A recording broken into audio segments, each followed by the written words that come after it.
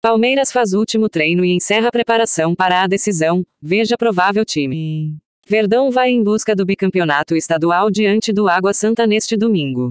O Palmeiras realizou seu último treino antes da final do Paulistão na manhã deste sábado, 08, na Academia de Futebol, encerrando a preparação para a decisão. O Verdão enfrenta o Água Santa, às 16 horas, neste domingo, 09, no Allianz Parque. Inicialmente, Abel Ferreira e sua comissão comandaram um trabalho recreativo. Na sequência, o elenco fez um ensaio tático de bolas paradas, além de atividades técnicas específicas de cada posição. A provável escalação do Palmeiras é: o Everton, Marcos Rocha, Gustavo Gomes, Murilo e Vanderlan, Gabriel Menino e Zé Rafael, Dudu, Rafael Veiga e Hendrick, Rony. O Verdão precisa vencer por um gol de diferença para levar a disputa para os pênaltis ou por dois para se consagrar bicampeão estadual evitando as penalidades. O Água Santa tem a vantagem do empate.